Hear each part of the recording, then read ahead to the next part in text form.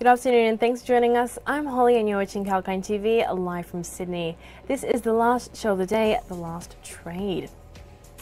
Despite dips and disruptions from new variants of COVID 19, 2021 was a fairly positive year for economies and markets in most parts of the world.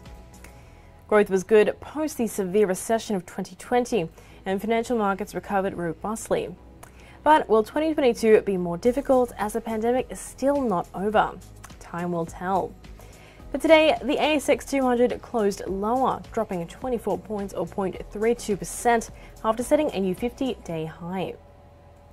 Over the last five days, the index has gained 0.75% and is currently 0.88% off its 52 week high. On the sectoral front, 6 of 11 sectors ended lower. Energy was the best performer, gaining 0.91% at 3.49% for the past five days. The best performer today was Adbri, up 5.5%. This was followed by Santos and Brambles. Others following closely behind was Ingham's Group and Macquarie.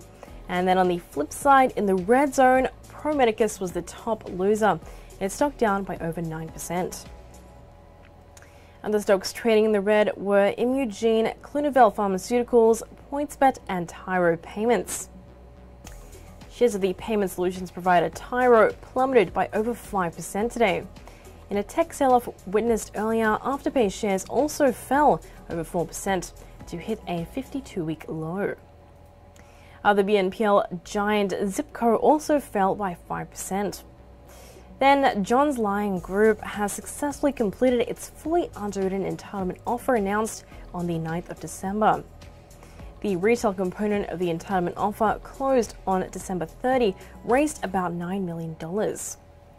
This follows the successful completion of the institutional placement and institutional component, which raised about 221 million, taking the total equity raising to 230.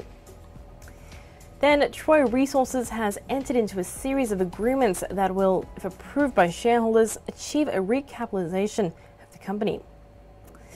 The company is engaging with the ASX to satisfy the board's requirements to enable its shares to recommence trading.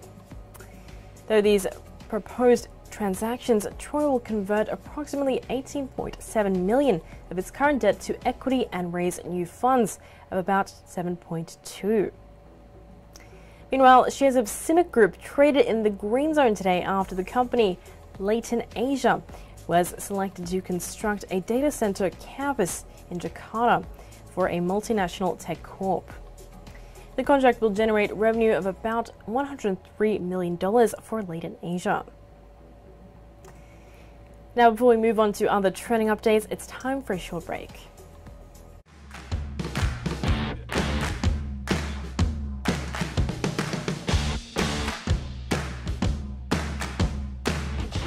Tune in to get the latest information. Whether it's about market movements or the currency graph, sectoral coverage or industry news, we cover it all on our news segments. Be on top of the latest news with Kalkine TV.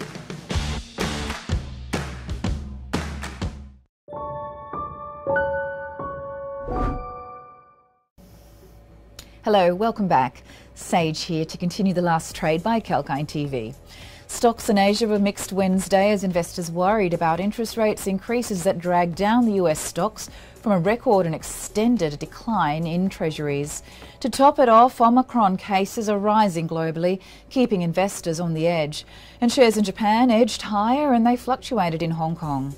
They slipped in China, where equities had their worst start to the new year since 2019. South Korea's Kospi index lost 1%. Indian stock markets also moved in a narrow range with a negative bias. And overnight, banking and industrial shares led the market, lifting the Dow to a fresh record, while the tech rich NASDAQ retreated amid the worries over the high interest rates. The cryptocurrency market was nursing its wounds today as the crypto cart was trading with mild gains. However, hawkish voices across the globe kept the gains in check. And the global crypto market cap gained over a percent to reach the 2.23 trillion US dollar mark compared to yesterday. In other news from across the world, after a hawkish turn by the Federal Reserve took some steam out of cryptocurrencies at year's end, while largely sparing other risk assets, central bank policy is taking a key role in the debate about the outlook for tokens in 2022. Meanwhile, in India, cryptocurrency platforms are facing increased scrutiny from tax authorities for goods and services tax evasion are unclear about applicable provisions under the country's indirect tax regime amid regulatory uncertainty. And thank you for your company on that report. But that's wrap, folks. Hope you found the market closing commentary informative. And we'll be back tomorrow live from Sydney as close as possible to 9.30 in the morning with the first report on the pre-market scenario along with the important updates from the global markets to prepare you for the trading day. And that's all for now. Take care and stay safe. Sage signing off.